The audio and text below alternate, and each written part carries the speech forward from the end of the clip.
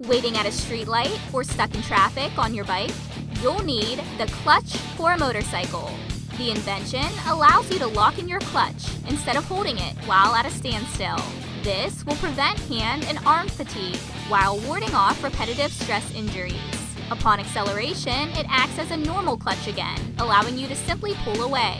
The device can be incorporated into new motorcycle designs, or it'll be a great add-on option.